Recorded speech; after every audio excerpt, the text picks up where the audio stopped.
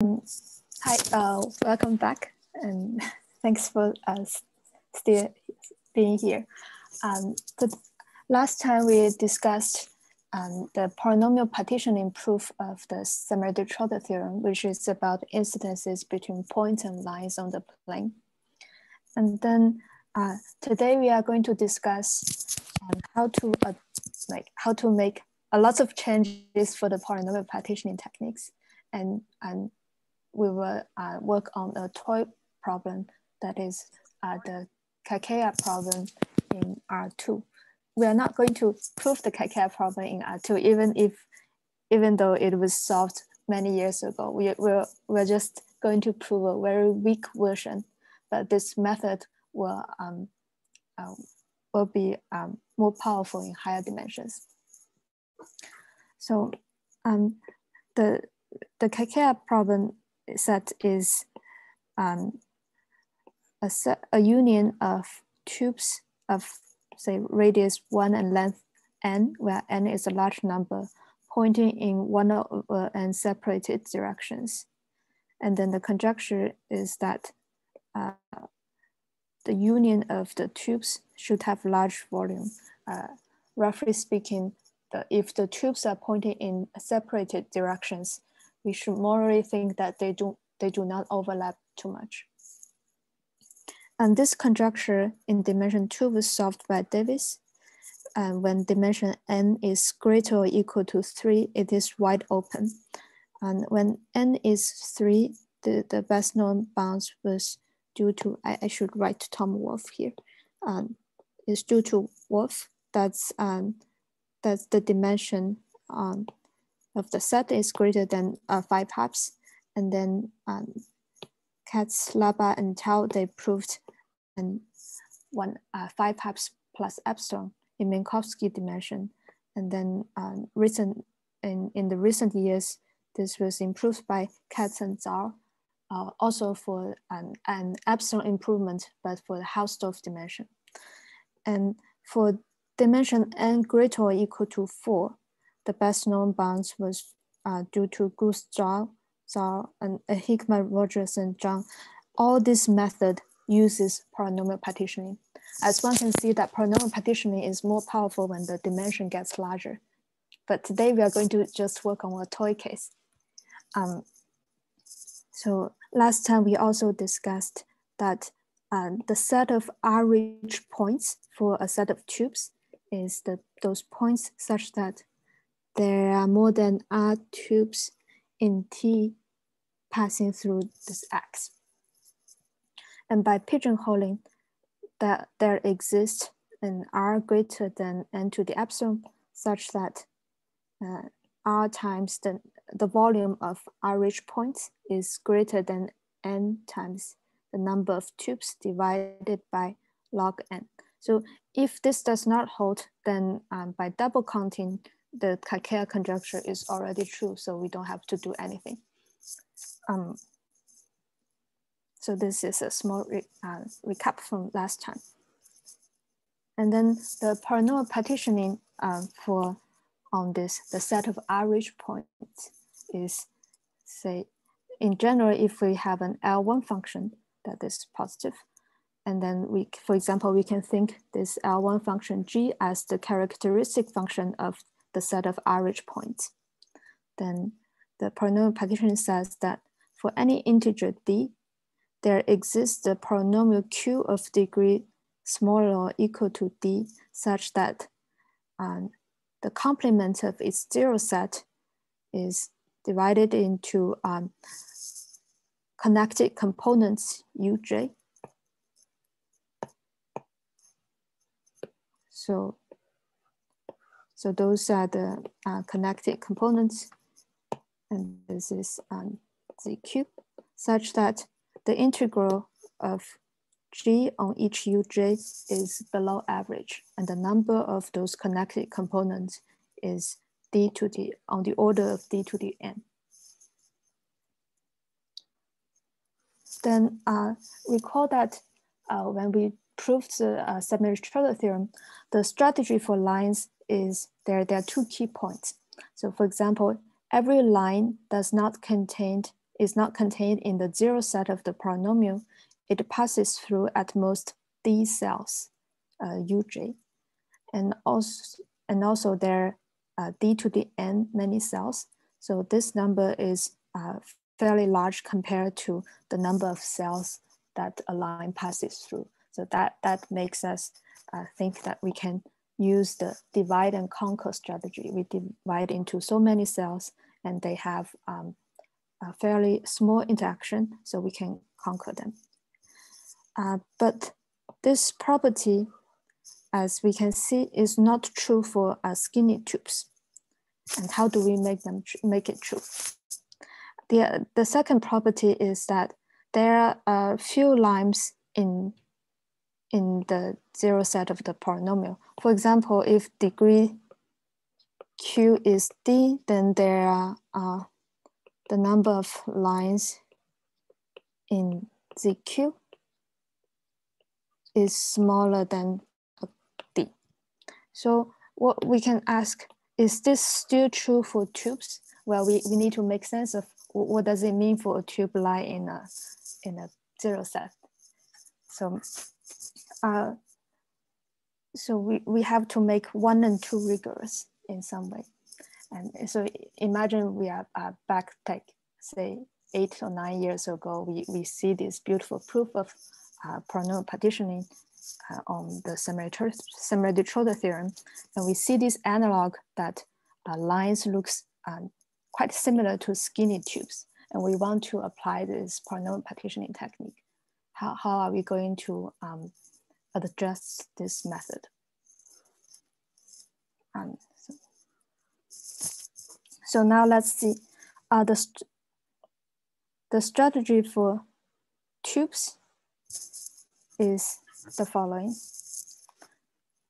Uh, so last time I, I discussed uh, why we think this is useful and there are some uh, simple-minded uh, adjustment that didn't work. But this time, let's see what's, uh, what works. Um, so we have this polynomial Q. This is the zero set of Q. And we are going to do some uh, small uh, changes. So we, we multiply this polynomial Q by another polynomial of uh, about the same degree. Say G is the polynomial that parameterizes the d times d grid of distance n over d. So first of all, we can assume that uh, everything happens inside a ball of radius capital N, because if the tubes, they, do, they are not inside a ball, that's even better.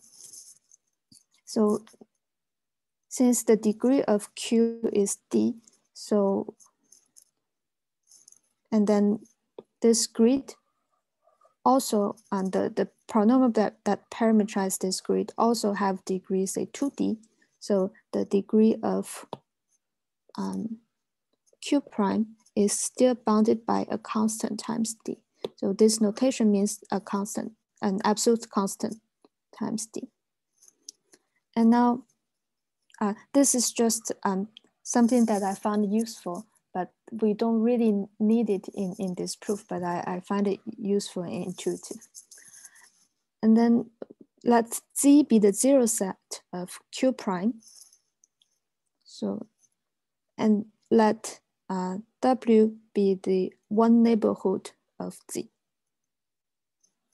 This means one neighborhood of Z. I, I should have made those thicker, but uh, this, this will make the picture messy, so I prefer not to do it. And now, um, so, so why are we going to take one neighborhood? Because we want to make the previous, the first point true, meaning that uh, tubes do not uh, passing through too many cells. So now if the, the complement of this one neighborhood of the zero set is divided into connected components. And then the, we call them OJ, so we, we call those OJ, we call it a cell. And then, so those OJs are the previous UJ um, set minus the neighborhood of the polynomial. In particular, it lies inside a ball of radius capital N over D. And this is because of the treatment we have, because we multiply by this, uh, uh, the, the polynomial G. Now we have the key point. Each tube, if it does not lie in W, it intersects at most D cells OJ. So I think this uh, can be dropped. So each tube, because it lies in the, if it lies in W, then it does not intersect any cell. So each tube intersects this many cells OJ. And now we have property one that we want. So, um, so we call it cellular case if, so the, the, let G be the characteristic function of the uh, set of R-rich points. Then the cellular case is that the cells, the integration of cells dominant. So, so far this case seems um, pretty similar to what we have seen before. But now we have thickened this uh, polynomial, the, the, the, this algebraic curve. So we make the algebraic case more complicated. The, the algebraic case is uh, defined by when the integral on g of uh, g on this neighborhood polynomial uh, uh, neighborhood dominates, and this case will become more complicated, and we have to deal deal with it carefully. Okay, I think. Uh, okay, so uh, no questions so far. Um, so how, how do we deal with this um, algebraic case? So first of all, as before, the, the, the R-rich points inside W is contained in um, the R over two rich points for a set of tangential tubes and the R over two rich points for a set of transversal tubes. But how, how do we define those tubes? So more speaking, we want to say that let this um, be the neighborhood. We want to say that this red tube is tangential, and we want to say that this green tube is transversal. But we want to define it in the way that a tube is, if it intersects this W, the, the neighborhood, then it is either tangential or transversal.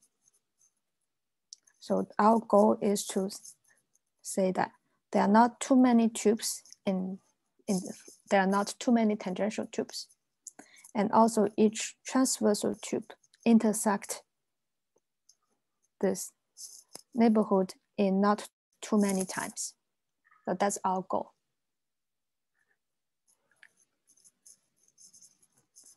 And the way we do it is um, we choose the parameter delta arbitrarily small, and we cover the whole space um, by both bk of radius n to the 1 minus delta.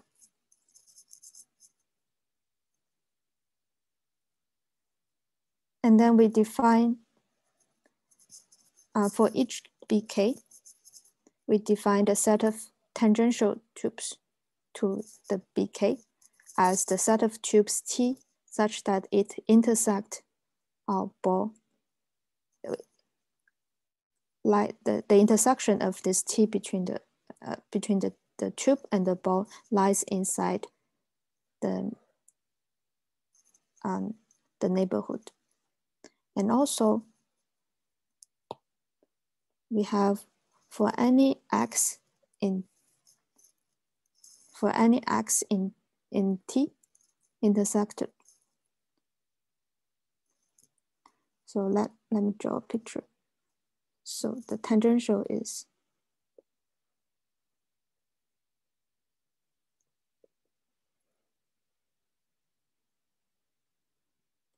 So for any x inside t intersect this bk, and any z, um, for example, let's say this is our z, in the in the uh, algebraic curve intersect bk, such that the distance between x and z is bounded by um, a constant times the radius of the tube. Then the angle between uh, the directions, the direction of the, the tube, that is this direction, and the tangent line when we are in dimension two, the tangent line of z at our point small z, the angle is bound, bounded by n to the minus one plus epsilon. So when, when we think epsilon as, uh, as zero, then this essentially says that the direction of t is the same as the tangent line. But we need this epsilon, oh, sorry, we need this delta to, um, to be an extremely small positive number so that we can um, deal with the transversal case, the, the transversal tubes. So now we have finished defining the set of tangential tubes. The set of transversal tubes is defined as those tubes that intersect BK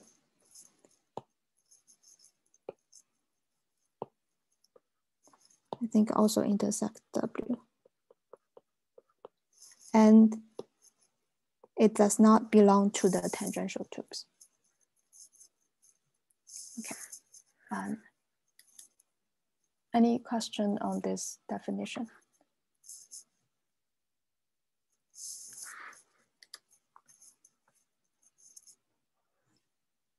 Okay, now, so here is the lemma saying that um, the transversal tubes do not intersect the, um, the zero set, do not intersect the neighborhood um, too many times.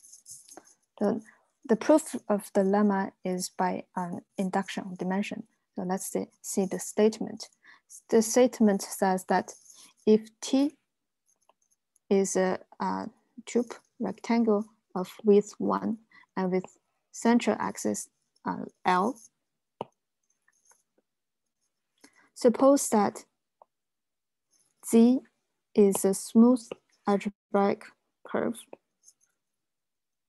And we define this Z greater than alpha as the set of point in Z such that the angle between uh, the tangent line and uh, axis L is larger than alpha.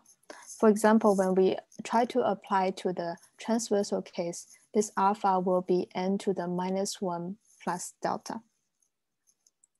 Then the conclusion of the lemma says that this z greater than alpha intersect t is contained in a union of degree z square many balls of radius alpha to the minus one. Um, points in Z cap um, right, right. Uh, well, sorry, no.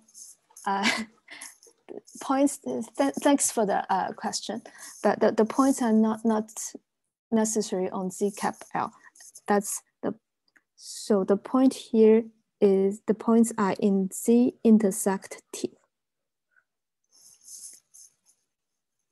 because if it's in Z intersect L, that's um, we already know that there won't be the, the number of those points is bounded by degree Z plus one. That, does that answer your question, uh, Harold?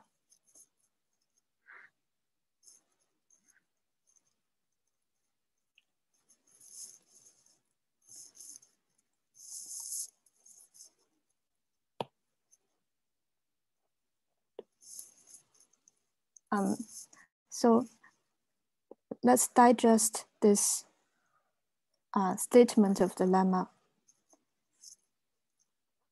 So let's compare to the definition of tangential tubes. So a transversal tube can be sort of viewed as uh, the complement of the tangential tubes. So here in particular, in this definition, when we think as the, the opposite, saying that for there exists a z and x such that x minus z uh, when with x minus z smaller than one such that the angle is greater than n to the minus one plus delta. And that is the, the corresponding definition of the transversal tube. So, so when we apply the lemma to the transversal tube, the conclusion is that the number of times that a transversal tube intersect W is bounded by degree Z squared times a constant. Okay, uh, this, I, I stated this lemma in dimension two because I want to make things simpler, but it is not too hard to generalize uh, to higher dimensions. So this lemma is true in higher dimensions. Um, so without loss of generality, we can assume that L is parametrized by x1 equals to zero. And by rescaling on x2 coordinate only, we can reduce to the case, uh, we can reduce the case to alpha equals to one. And then um,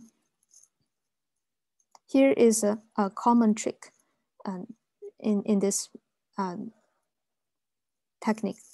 Let W be um, 0, 0, 1 over 100, 2 over 100, 3 over 100. So it's like a, a 1 over 100 net on the unit interval.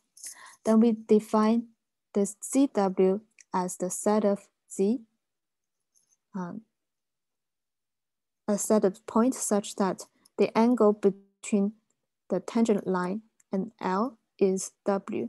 So I want to say that th those numbers that are, they are not strictly, so, so we don't really need them to be one over 100. Say one over 100 plus one over 1000 is also okay. So we can choose them in a small neighborhood and this will not impact the, our proof.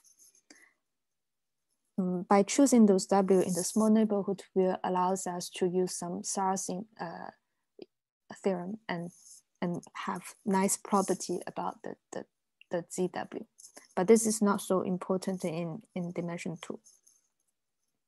Then by Bezout's theorem, there exists that the number of points in ZW is bounded by uh, degree Z square. Because this is also an algebraic, equa algebraic equation of degree bounded by uh, degree Z. Then we can cover those points by balls of radius 10. So those are the, the orange circles. Um, so those are the points in ZW. And we cover them by um, ball, balls of radius 10. Now, now we have covered those points. Let's look at what else. Let Z be a point in z greater than 1 intersect t and does not lie in the balls, those balls, those orange circle balls. Now let A be a connected component of, so let's see. For example, this is a point Z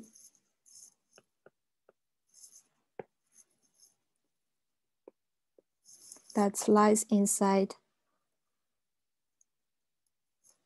the z greater than 1 intersect t and not inside any of the orange uh, circle. Then let A be a connected component. Um, say A is this one. I'm making this connected component too large. But um, let A be this connected component. This is A. Then we claim that the connected component A does not touch any point in ZW. Um, the reason is that um,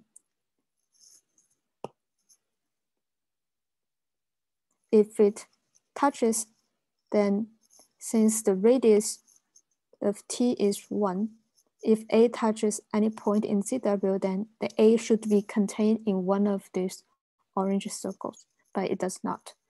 So A does not touch any point in ZW. And this means that A cuts through L.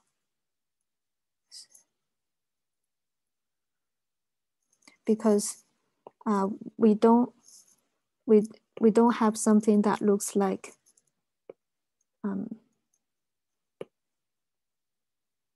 this.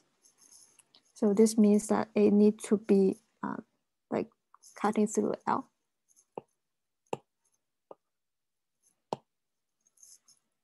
Then as a conclusion, this A, sorry, what I wanted to say is that here we have this T. We can, sometimes we can have something, something like A looks like this, but this is not true because if A looks like this, then A needs to go through a point in ZW and we what we just said forbid this from happening. So not happening. And now we can bound the the num the number of those A's cutting through L by Bezout's theorem again. So the number of A is bounded by degree Z. And, and now we finish the proof of the lemma.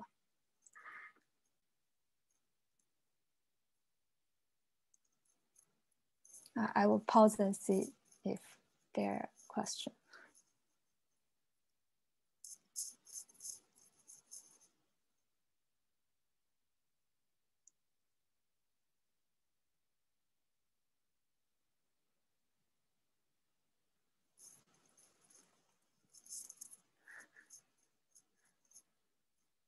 Okay.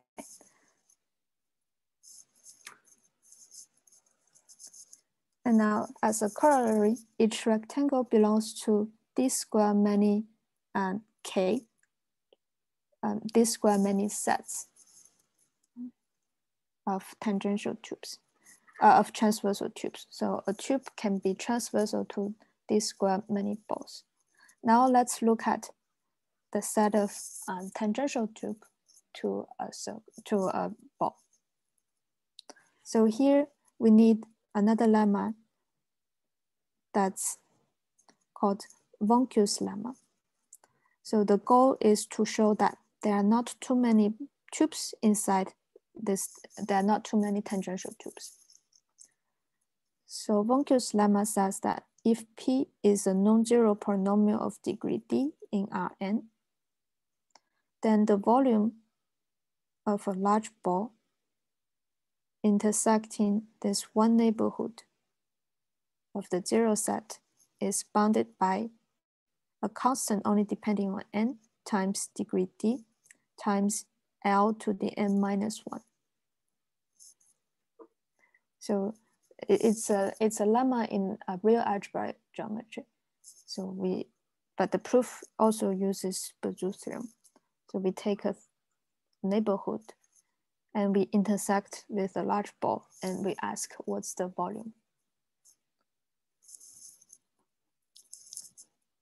So again, the proof is also by induction of dimension. Uh, I, I found these two proofs uh, a little uh, similar in spirit, so I put them together. Um, so by uh, Milnor-Thom theorem, the number of connected component of ZP is bounded by a constant only depending on the dimension times d to the n.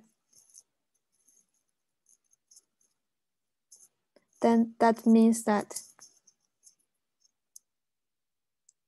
the number of unit cubes containing a component of ZP is bounded by d to the n.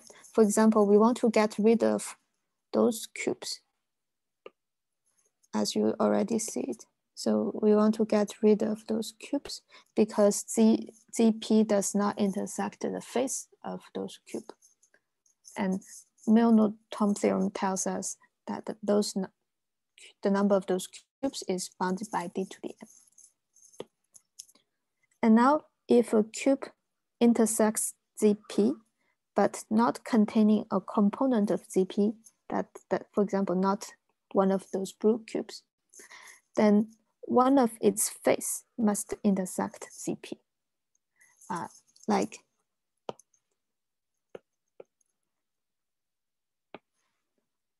for example, like this purple cube, then this face intersect ZP. Now we can apply induction on dimension, meaning that um, we can apply induction saying that, um, for example, all those faces, so the number of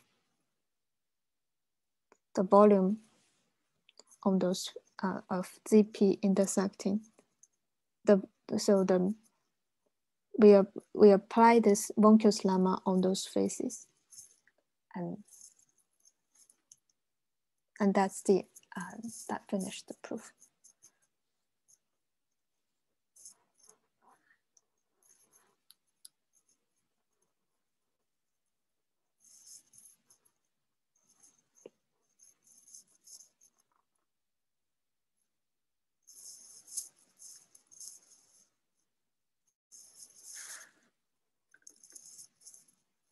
Okay, um, if there are no questions, I will proceed. So the corollary um, is that when dimension n equals to two, the number of distinct one times L rectangles in the one neighborhood of an algebraic curve intersect a large ball of radius L is bounded by the, the degree z square uh, a constant times degree z square. However, this corollary or the in higher dimensions is, is very non-trivial. But a key ingredient is also the Wongkew's lemma in higher dimension. But um,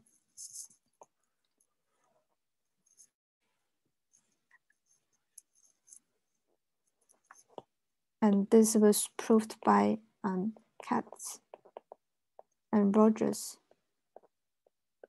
um, using some tools from uh, semi-algebraic geometry. Now, here uh, we are going to see a proof of a, of a weak estimate for Kakeya set in R2. The estimate is really weak, but I want to um, illustrate some ideas like how we uh, use polynomial partitioning for those for um, a set of tubes.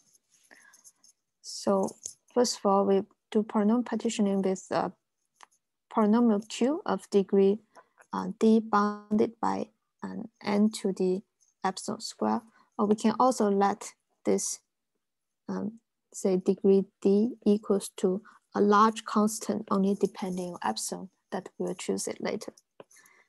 Um, um, both ways are fine for now. Um, now let W be the one neighborhood of the um, algebraic curve. And again, this the complement of W is divided into cells OJ.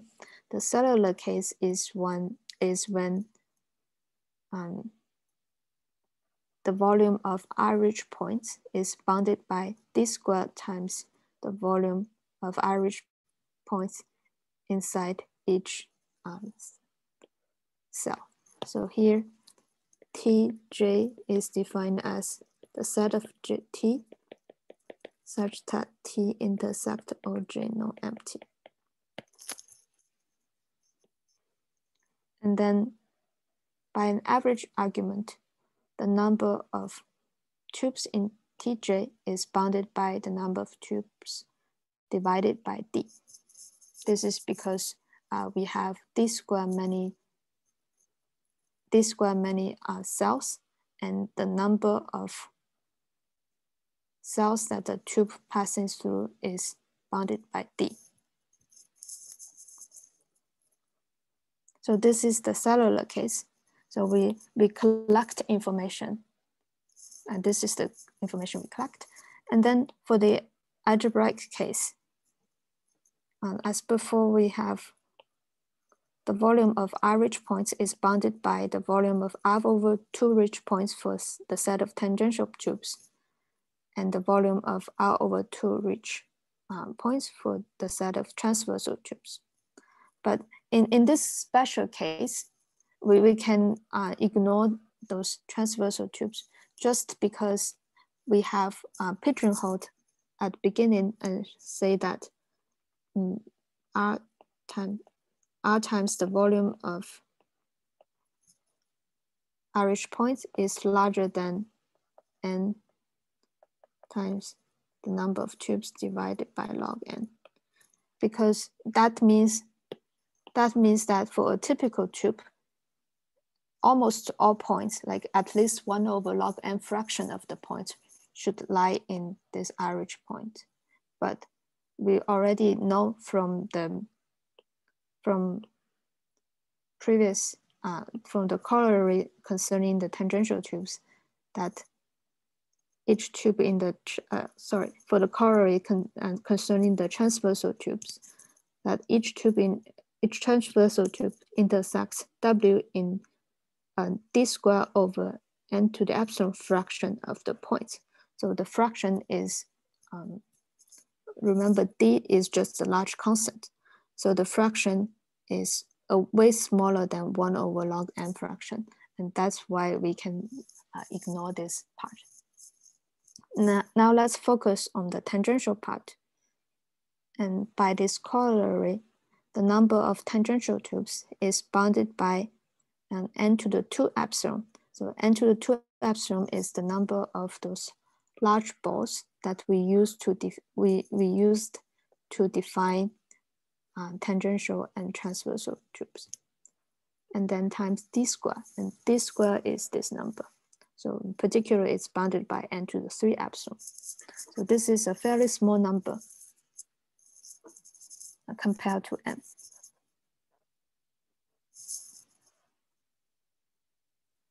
Okay. Now we iterate this process for uh, Tj. That is the set of tubes intersecting a cell until the tangential case is dominant. So the picture is um,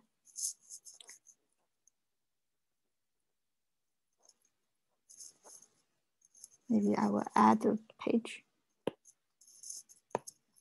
So the picture is we first do a partitioning and imagine that it's cellular case dominant because the uh, tangential case cannot dominate because they are not that the, the number of tangential tubes is very small. And we also know that each cell is contained in an n over d uh, a ball of radius n over d.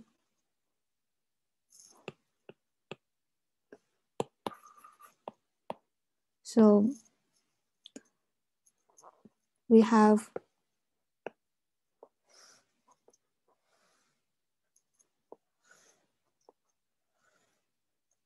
So those are the tubes from TJ. Let's say it's OJ. And then since we only consider what happens inside OJ, we um we see that the now the length of the tube becomes um the length of the tube.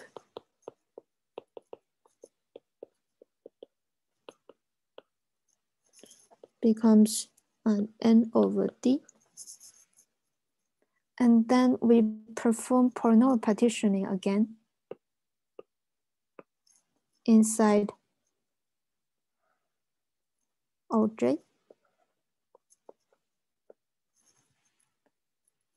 And let's call it OJ, uh, not OJ. So this is the cell, cells in the second step, O tilde. And each O tilde is lies inside a ball of radius n over d square. And we, we keep partitioning until uh, we arrive at tangential cases. Um, so now assume that we arrive at tangential cases.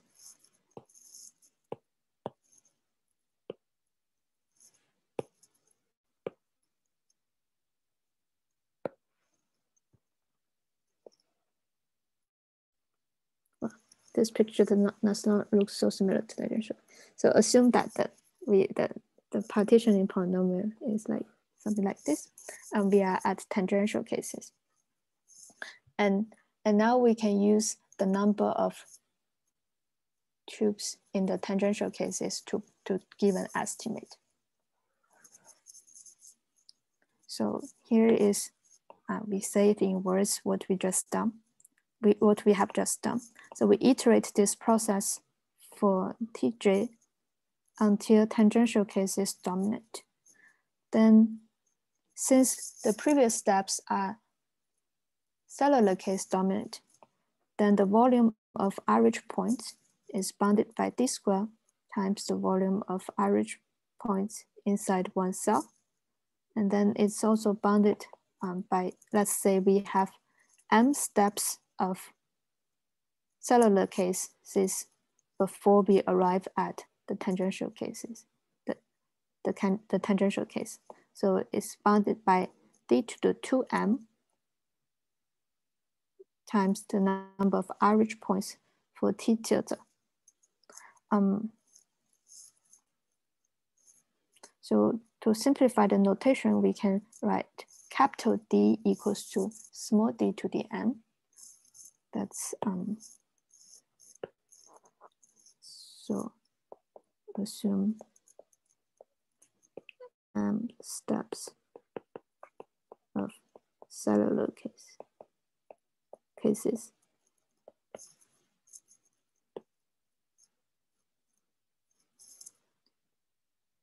Now, the number of tube segments inside T tilde is roughly um, the number of tubes divided by D. So this is a consequence of um, the fact that each tube intersect at most D cells at each step. And we also have the set of R-rich points for T tilde is bounded by the set the, the volume of R over two rich points for T tilde tangential. And this is just rewrite until tangential cases dominate. But we also know that here, assume that this is O tilde and it's inside an capital N over capital D ball. So the number of capital N over capital D times one rectangles in each iterated cell is this square. Um,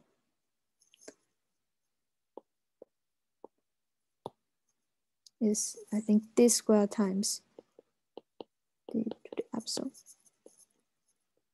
And this is an application of our corollary at scale n over capital D. Then the number of tangential um, rectangles inside one cell is bounded by capital D times n to the epsilon. So this implies that D squared is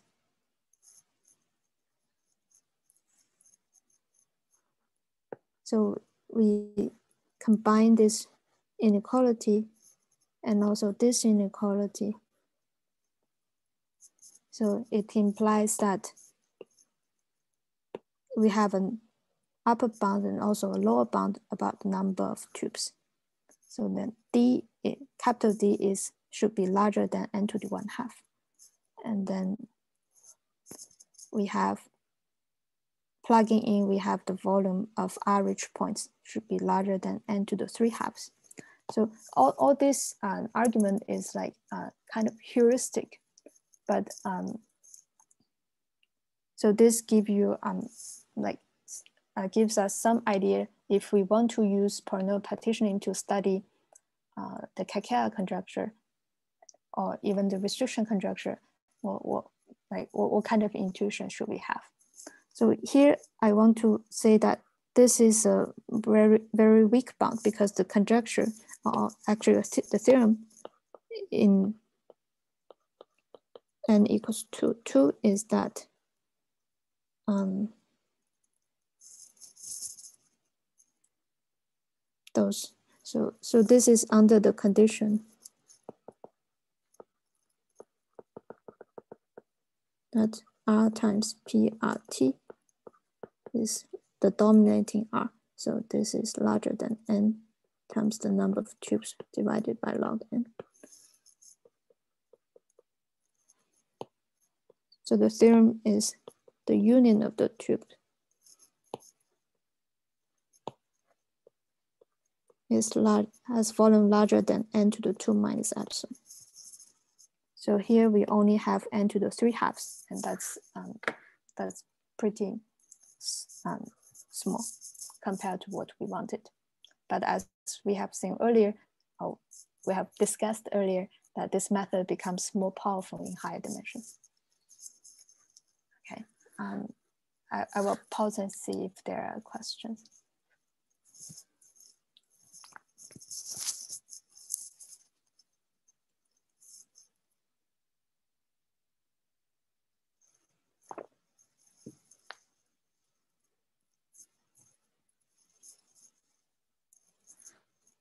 Okay. Um, if no questions, then um, we let's summarize we, what we have um, done.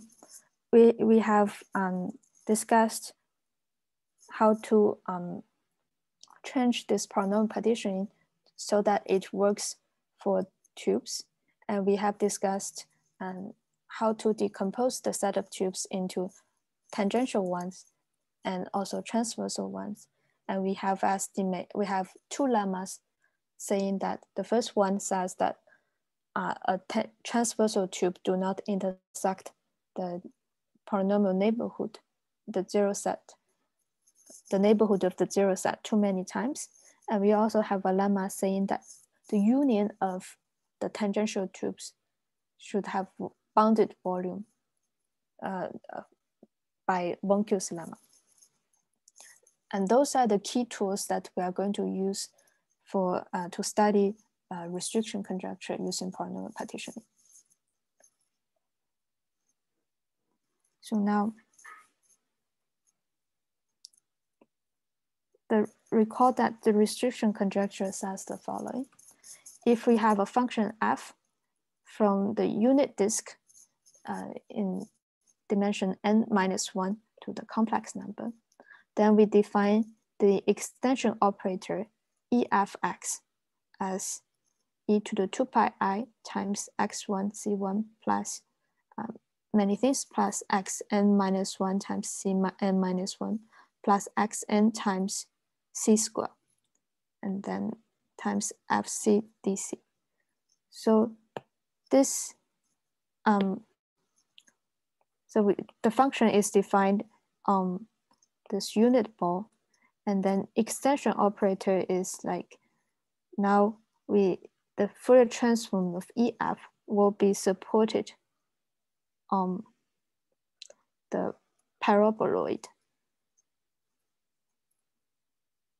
So previously, when we discussed the restriction uh, conjecture, we discussed it with respect to a sphere, but uh, usually the things what works for sphere also works for the paraboloid and vice versa.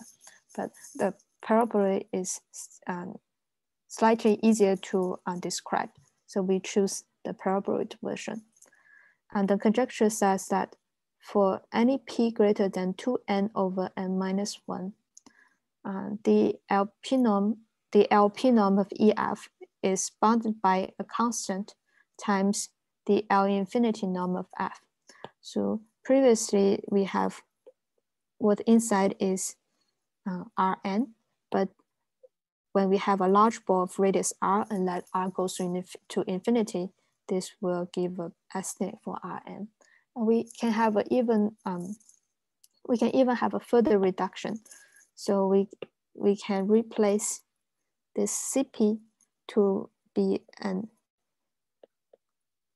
constant depending on p and, p and epsilon, and then times r to the epsilon. So we now we allow a loss of r to the epsilon power. So now epsilon is any small positive number. And, and if we have this local and weaker version of the restriction inequality, then there is an epsilon removal lemma by Tao, saying that we have the stronger bound um,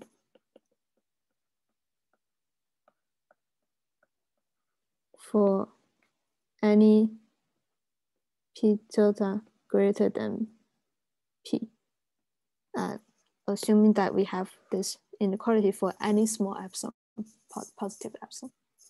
So for the rest of the lectures, we are going to focus on this uh, slightly weaker estimate. And also I want to say that this L infin infinity norm on the right-hand side, if um, maybe people have seen that in the first lecture, we discussed the restriction conjecture. The, the right-hand side is an LQ norm. And since F is, has, uh, is compactly supported, LQ norm is smaller than L infinity norm. But there is, um, by some factorization, factorization theorem, if we have this L infinity bound, then we can also have uh, LQ bound on the right-hand side. So um, after many reductions, we are, we are going to stick to this, trying to prove this weaker, this weaker estimate.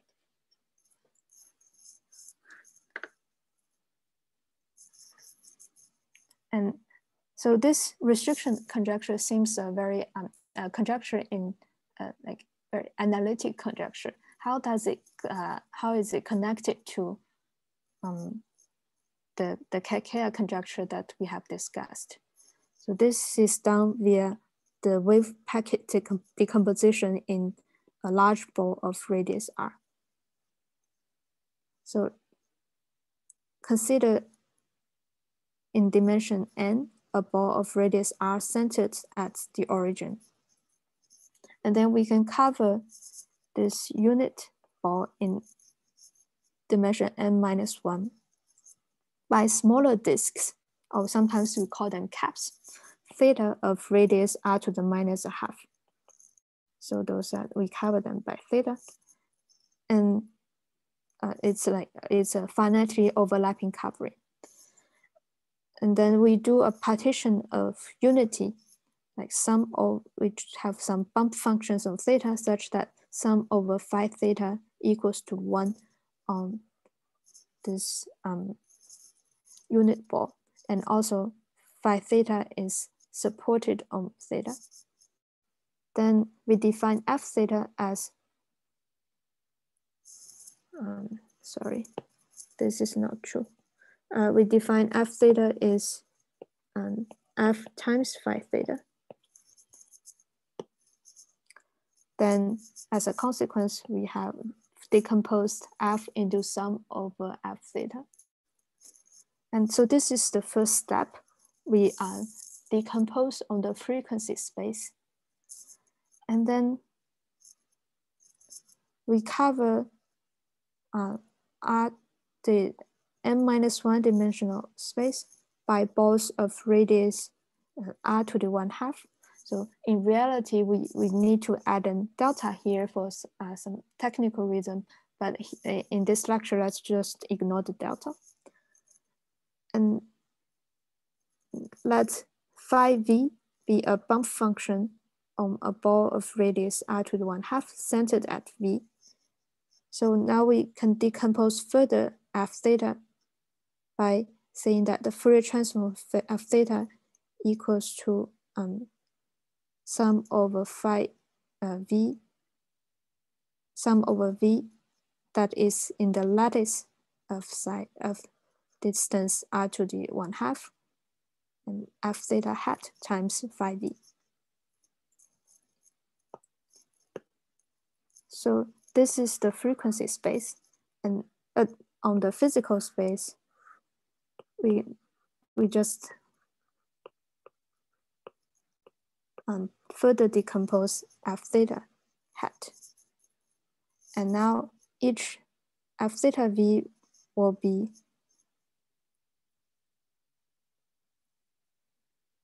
when we take the inverse Fourier transform and we apply another bump function, uh, we multiply by another fun bump function on phi theta.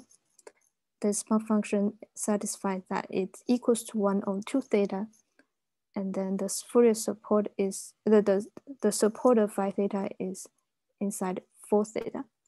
And so th this uh, this definition might seem complicated, but what I want to say is that by the uncertainty principle, phi, since uh, phi v is a bump function on a ball of radius r to the one half, phi v hat will be essentially supported on a ball of radius r to the minus a half. So when we do this, that's why when we multiply by 5v and we do the inverse Fourier transform, the support of the support of this this function equals to f theta convolved with phi v inverse Fourier transform. Since f theta is supported on theta, and then phi v, the inverse Fourier transform of phi v is essentially supported on a small disk of radius about the same as theta. So what we just did is we make this function has support slightly larger, essential support slightly larger than theta. And that's why we, uh, if we cut off, multiply by another cutoff function, is not too different from the previous function. And that is the, um, that is the uh, wave packet decomposition. And so, uh, so for now, I think it's a good time to stop. And then um, uh, next time we will see like how, how do we get tubes from those f theta v. Um, so next time we will continue discussing wave packet decomposition and then discuss how we use the tools uh, for polynomial partitioning to um, study the restriction conjecture. Okay, thank you for still being here.